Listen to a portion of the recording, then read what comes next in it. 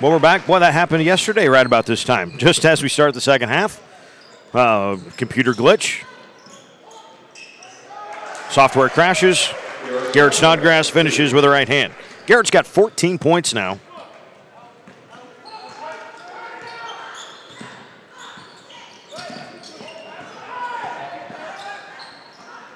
Down the lane, there's Brodsky. Excuse me, Evan Kingston. Now with 17 points for the Trojans.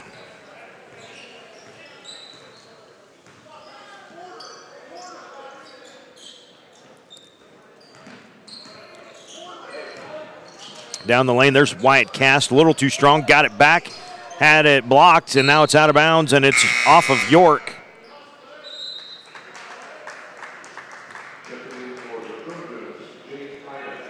Jake Hyman replaces Paxton Swanson. Paxton, a big force in the middle, but uh, three fouls in that first half. His time was limited, and now he comes out, and Jake Hyman is in. I mentioned there's still a couple of six-four guys on the floor for Platteview with Hyman and Brodsky. Brodsky, though, in a guard role, is driving shot just a little too strong, no good. He'll get a couple of free throws, though. So it is effectively a small lineup, which probably benefits York even a little bit more. Brodsky scoreless in the first half, but already quick uh, three quick points and make it four. The lead is nine for York. They led by 11 at the break.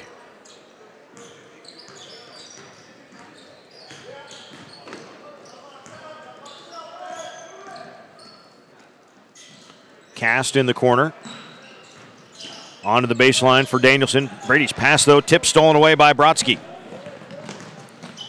Trey leaves it for Tyler Riley. The in rhythm three, just a little strong. Hyman with an offensive rebound.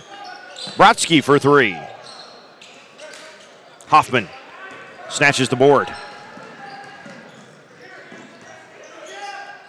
Swing pass, Lucas into the lane. Nice feed for Wyatt Cast. Wyatt missed it once, got it back, and is fouled the second time.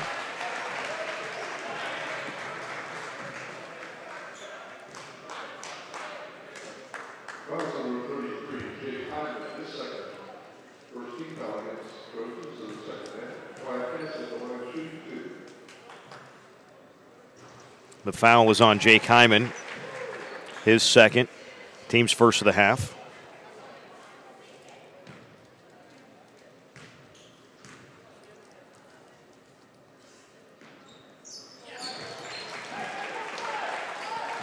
And now Wyatt Cast, perfect four for four from the foul line, pushes his team's lead back to 11 at 39 28.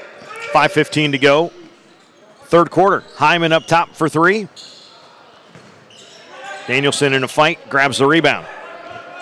Leaves it for Lucas, a chance to run for the Dukes. Hoffman, three ball left corner. Kingston, the defensive rebound.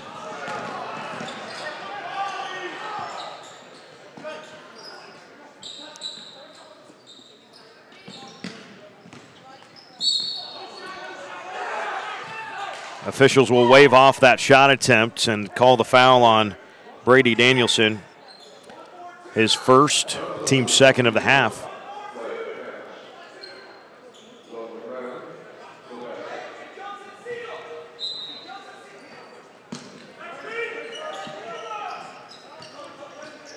Kingston puts up the tough 15 footer, casts the rebound.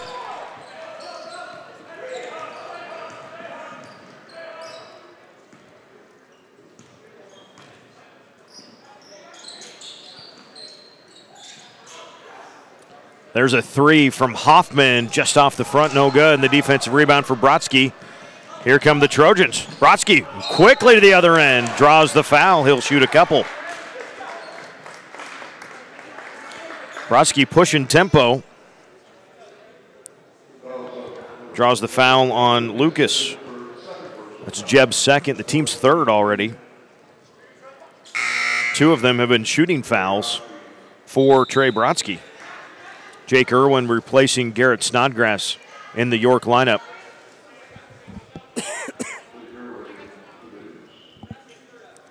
Now the officials you see conferring.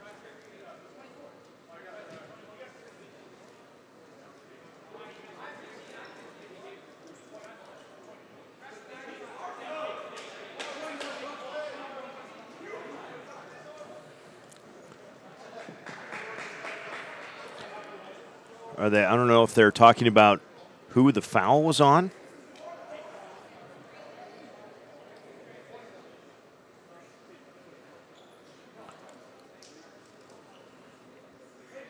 Coach Tom Brodsky for Platteview argued his point a couple of different ways. Officials talked about it twice, and nothing has changed. Both free throws, though, missing for Trey Brodsky at the line. Still an 11 point York lead. Danielson on the wing.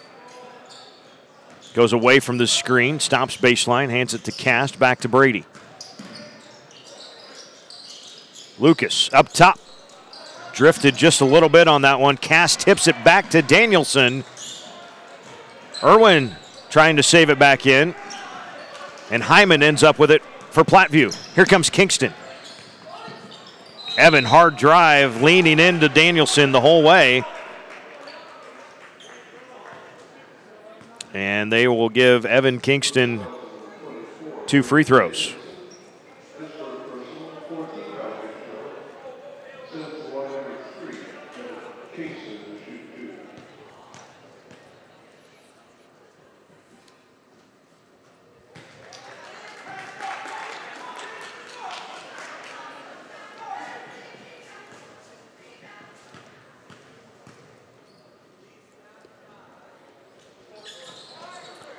Second free throw short. So the game is a 10 point lead. Well, Danielson wasn't ready for that one. Now Kingston's after it. Good hustle by Lucas to get it to Danielson. Hoffman driving. Tough shot. It will fall. And one opportunity. That's one way to get your first points of the game. Evan Kingston called for the foul, his second. Team second of the half. And Hoffman's free throw converts the three point play. Snodgrass back in, cast to the bench. 13 point lead for the Dukes is their largest lead of the contest.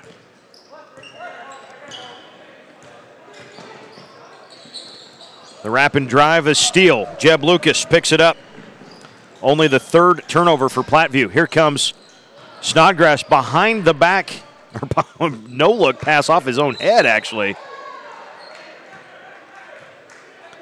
And out of bounds, last touched by a Trojan.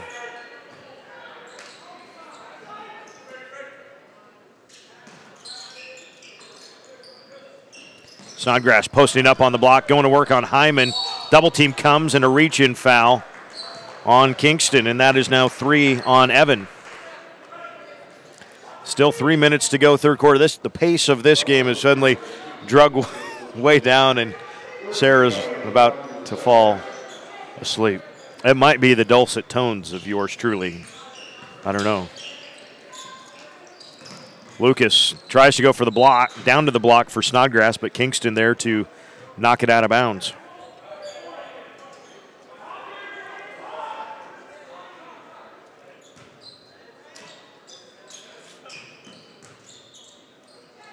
Snodgrass, tough move underneath, got it back, tries it again. Hyman, what's the call? Platteview fans want to jump ball, but they're going to get a foul on Jake.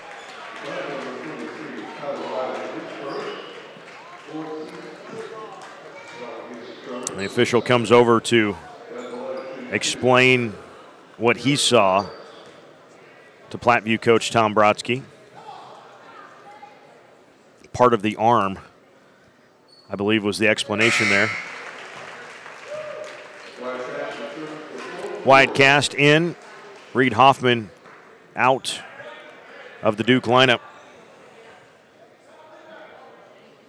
Snodgrass now has 16 points. Those his first two free throws of the game. 44 29. York expanding their biggest lead of the game. Brodsky, nice drive and the finish at the rim. Trey Brodsky might have got an earful from dad there at halftime, right? Six points in this third quarter after he was scoreless in the first half. Lucas to Snodgrass, guarded by Hyman. Garrett goes baseline, lost it on the way up, though, picked up by Tyler Riley. Eight Duke turnovers in the game. Kingston leaning in to the corner for Riley. Tyler lost it, though. Saved back in by Snodgrass. Four Platteview turnovers in the game. Spin move, Danielson. Fouled by Brodsky.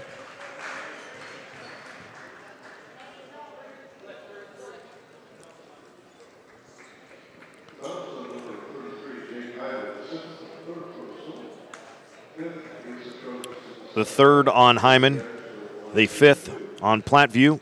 Two free throws here for Brady Danielson. So five Platteview fouls here in the second half.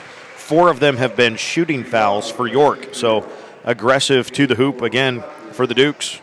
Wyatt Cast hit a pair. Reed Hoffman converted a three point play. Garrett Snodgrass hit a pair. And these are Brady Danielson's first two of the second half.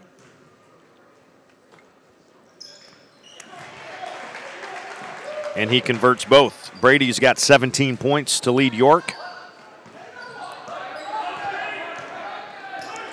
And the lead back to 15. Matches the largest lead of the game for the Dukes. Kingston stops, gets it to Swanson momentarily. Now we've got a loose ball. Who's got it? Brodsky ends up with it again. Kingston, pull up.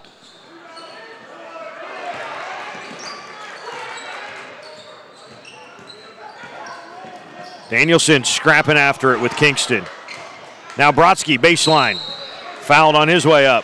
He'll shoot a pair.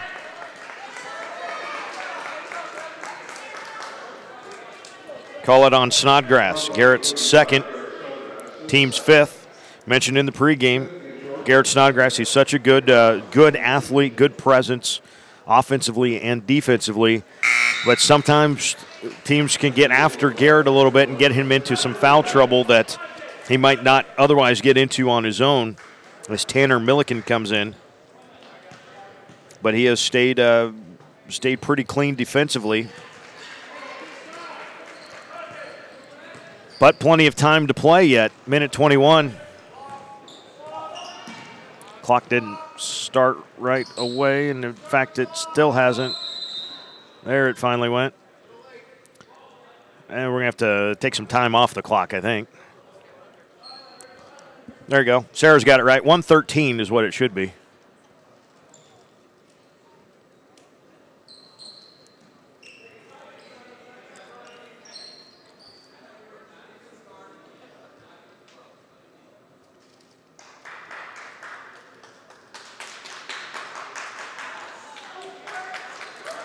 We'll put 115 on there.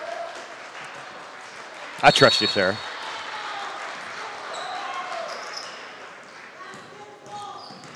Danielson, spin move, up and under with the right hand. The body control, it is perhaps unmatched in Class B. Brady Danielson has 19 points to lead the Dukes, and in fact, he leads all scorers. The lead back to 15 for York. Swanson, high post, hands it back for Kingston. Evan down the lane, a lot of contact, waving off the shot. And the foul on Jake Irwin. Evan Kingston, he is relentless offensively and defensively. He will scrap after it on defense, and uh, if you are trying to guard him man to man, boy, you will be tired at the end of that ball game because he is going constantly and draws another foul there on Jake. It's so good. It's not just run fast to a spot. It's not just run fast off a screen. He starts and stops so well, anticipates when you're leaning one way, he's going the other way. He's good. He's he's real good, folks. And he's going to the free throw line for a one and one. Seven team fouls whistled against the Dukes here in the second half.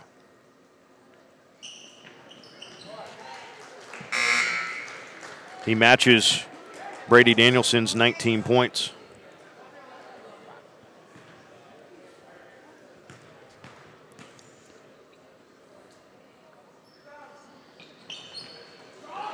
Second, no good, but an offensive rebound.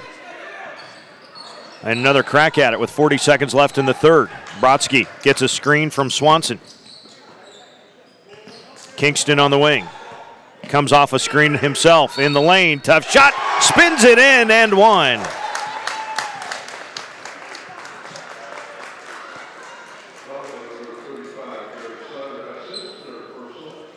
And that's three now on Snodgrass. The lead is 12. Kingston will try to make it 11. It was 11 at the end of the third quarter.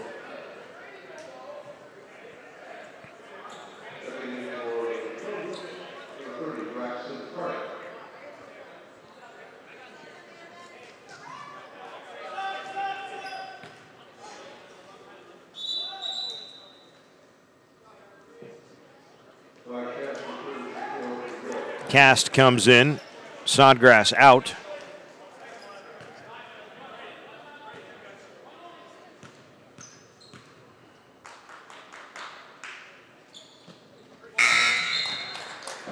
Kingston converts the three point play. 31 seconds left. And now you got Snodgrass on the bench with three, so things get at least a little interesting for York here.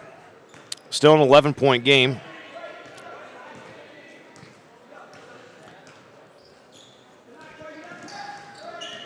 Brady Danielson is on the floor, guarded by Trey Brodsky over there in the corner.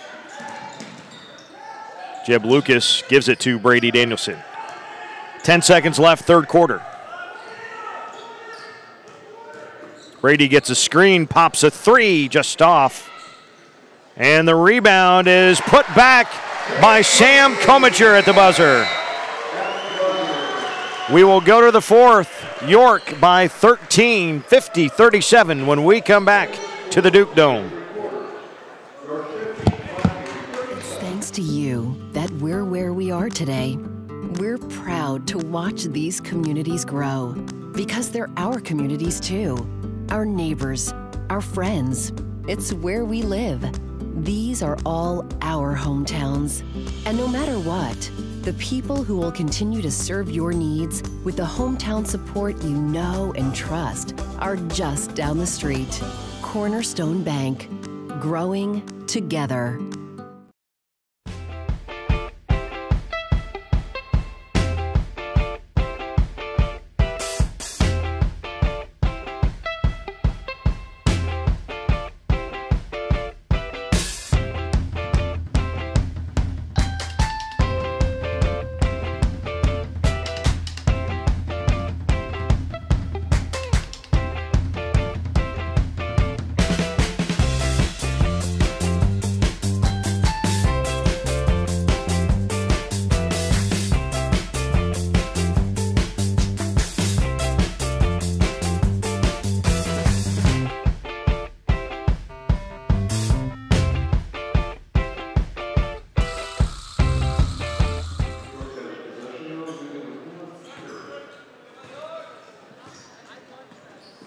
Start of the fourth quarter, Duke basketball. Duke 13 point lead. Garrett Snodgrass back in. Missed it once, got it back, put it back in.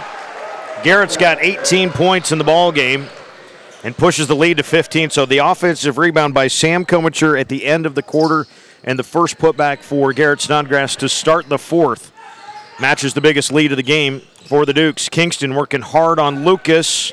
Missed the shot, though, and Reed Hoffman secures the rebound for York. The Dukes 7 and 1 on their season. The only loss, bit of a blowout, kind of surprisingly big blowout for the Aurora Huskies. They are waving off that shot attempt there uh, by Snodgrass. Uh, but Baylor Scheierman, Cade Reichert had a huge night that night here in Aurora, or here in York against Aurora that night that the Huskies won the game. And Aurora and York, of course, in the same Central Conference. So uh, perhaps a tournament meeting uh, there in February, or actually, I should say, in uh, at the end of January, and then they're in the same sub district as well. So perhaps a sub district meeting. So still a couple of opportunities for both teams to get a little more antiquated with each other. Wyatt Cass secures a rebound and is fouled in the backcourt. And that is going to be seven team fouls on Platteview, so a one and one bonus situation for Wyatt Cass. That foul called against Braxton Karnick. The first on Braxton, but like we said, the seventh on the Trojans. One and one for Wyatt. Wyatt has all four of his points from the free throw line today. And now he's got all five of his points at the free throw line.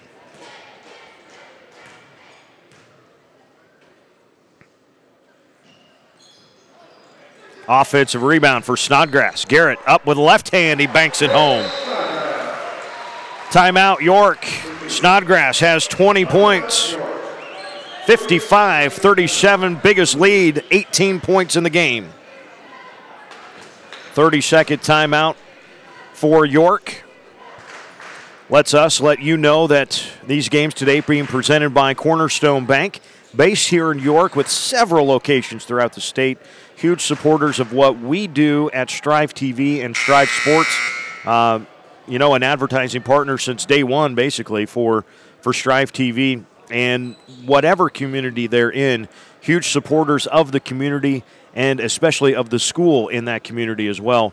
Cornerstone Bank, uh, huge thank you to them. Also, we must say thank you to Truck Center Companies with locations here in York, as well as the rest of Nebraska, Kansas, Iowa, I believe Missouri as well, and Region 5 Systems as well has come on board this year as an advertising partner with us on uh, strivsports.com. So, uh, a big thank you to them. And uh, the advertising dollars that come in for us to uh, do some Striv Sports stuff, well, it's all stuff that we can take back to a school and say, this is how we did it, and this is how you can do it as a school. Uh, that is the, uh, the whole point of Striv TV. It's not just a live streaming platform, although that's certainly a big part of it. Uh, but it is all about the education for the schools, giving them a voice, showing them how they can have their own voice. And there is a bump in Evan Kingston. We'll go back to the free throw line. 22 points for Evan in the ball game so far. And the foul on Brady Danielson is his second and the ninth team foul. So the next will be a double bonus. This is a shooting shot, uh, shooting uh, free throw anyway.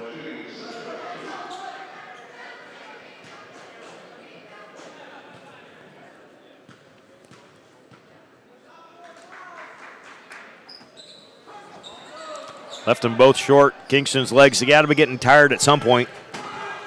He puts a lot of miles in during the ball game.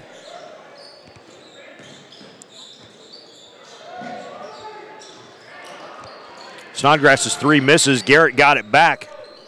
Hot potato, Wyatt Cass, jumper good. Wyatt Cass with seven points. Then the York lead is the largest of the game at 20.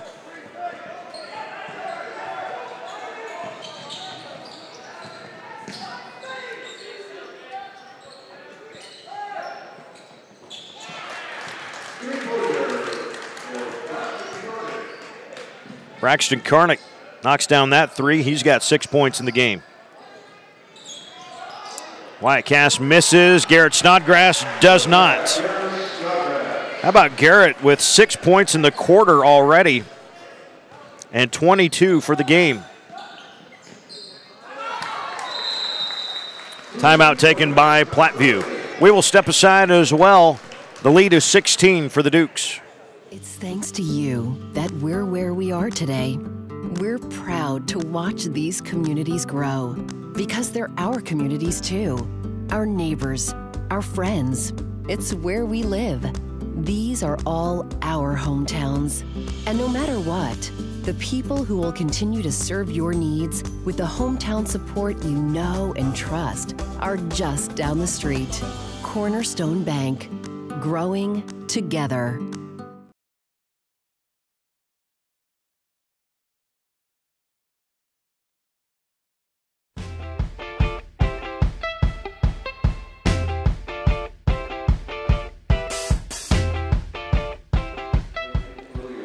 Coming up after the holiday break here.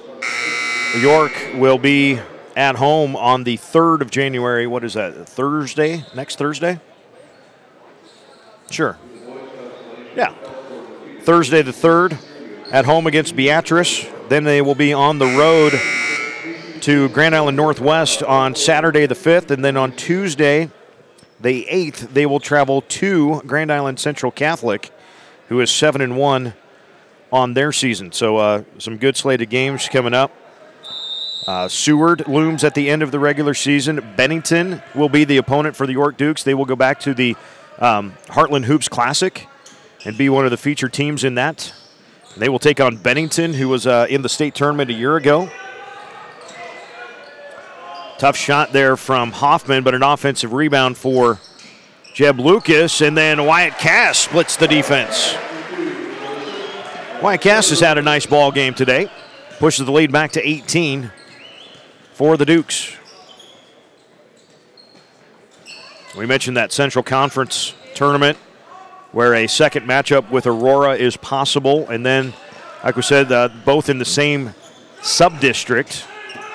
And remember the uh, sub state uh, method of uh, postseason play for basketball, so everybody plays a sub state, and then uh, your eight district winners and the next eight wild cards in Class B will play on sub state Saturday, if you will, seeded by playoff points. Those eight winners will be the eight teams that go to Lincoln for the state tournament. Jeb Lucas quickly to the rim, missed the shot. Thought he got fouled.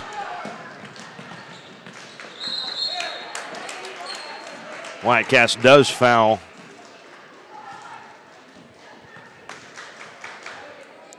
Tanner Milliken here.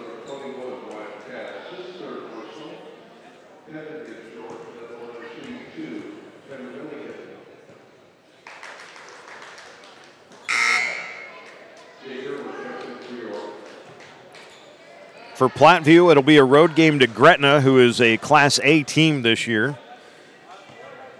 That's coming up on the 4th, so next Friday. And then the following Tuesday, home games against Ashland Greenwood, and then uh, at home on the 11th against Wahoo, who is 6 and 2. Still on the schedule for the Platteview Trojans. Cast down the lane, fouled.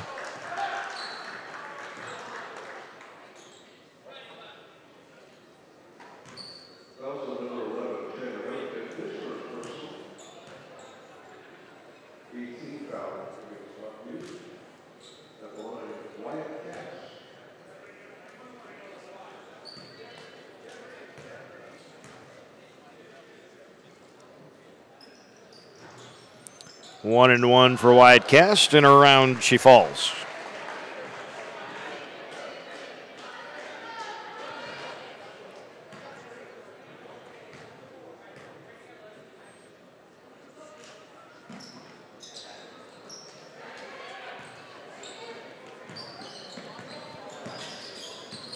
Sixty-four, forty-four. Brodsky with the drive. Irwin grabbed that rebound. Nice cut by Lucas. Leaves it for Irwin. Jake can finish under the rim.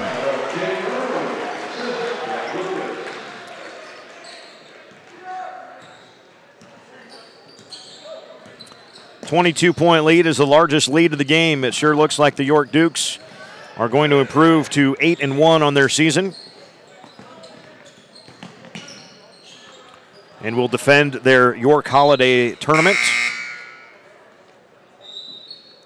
Sully Stain in for Platteview. Morgan Connor in for York. As Reed Hoffman comes out.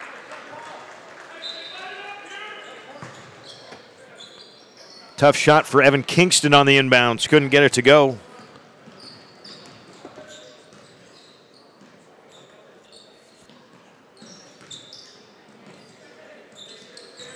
Up top, that one's stolen away.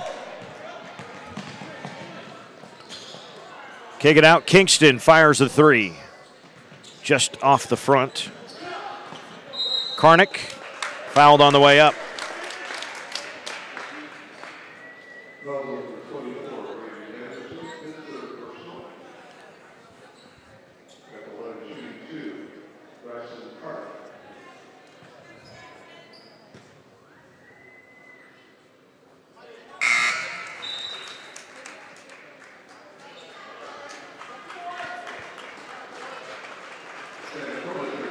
Sam Comacher into the game for York. Replaces Brady Danielson. Karnick makes both. Long pass up ahead for Sam Comacher. We're about to see a few different York Dukes come into the ball game. Tyler Wright is already at the score bench. Wyatt Cast has it on the block. Wyatt maneuvers his way through, throws it in the corner. That's a three from Irwin. Comacher with a defense or an offensive rebound. Lucas, a nice drive, kicks it out for Morgan Connor. Back to Irwin. Jake, baseline had it tipped away though. Jake gets it back, draws the foul, hits the basket. Stick to itiveness, I believe they call that.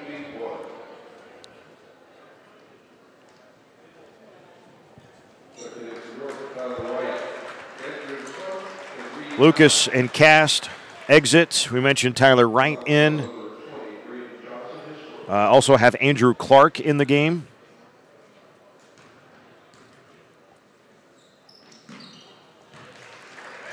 And uh, 33 is Reed Malik. Reed is a 6'1 junior, part of the uh, state championship golf team back in May.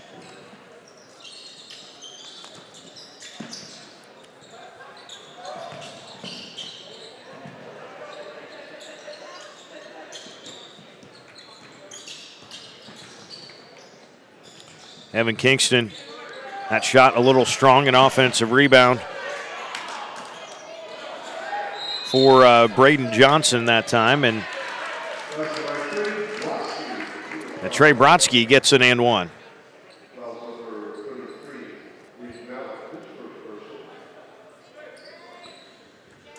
More new Dukes in, including Noah Burke into the ball game, along with uh, Matt Hagedorn.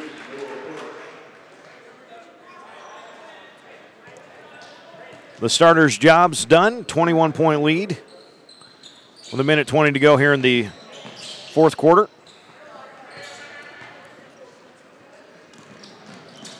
So some fresh faces on the floor. Good cut. Malik will lay it up.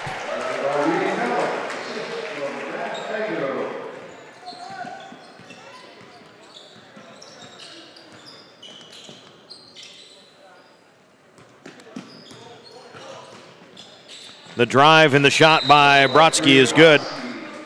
And a timeout just for some subs here for Coach Tom Brodsky. And that will let York get Ben Kowalski. And I don't even have two listed on my program.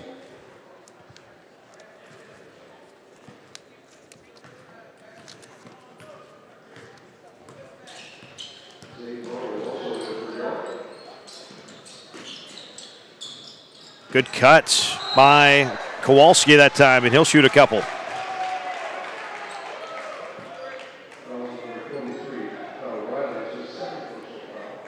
Tyler Riley with the foul.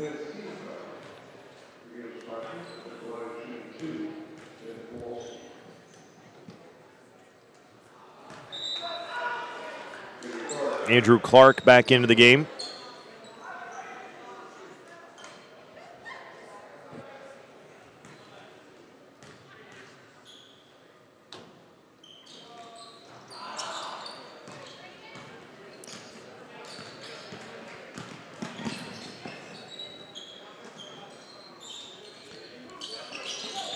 So we want to say thank you in these final 30 seconds to everyone who has watched us over the last couple of days. If you're still with us, whether St. Cecilia or an Elkhorn or a Platteview or a York fan, uh, thank you. The Striv community continues to grow. Tyler Riley hits that three. A couple of subs. Hagedorn and Malik back in for the Dukes. But uh, the community of Striv, over 100 schools across the state of Nebraska now, which is pretty fun to say, uh, in the uh, seventh year of Striv. Uh, we started with just six in year one, York being one of those six. The Dukes of York, back to back holiday tournament champions. They win it 71 53 over the Platteview Trojans. 10 points for Trey Brodsky, 22 for Evan Kingston to lead the way for the Platteview Trojans. Tyler Riley had six. Braxton Karnick had eight. Jake Hyman, three. For York, Jake Irwin finishes with four. Jeb Lucas, six. Reed Hoffman, three. Wyatt Cast with 10.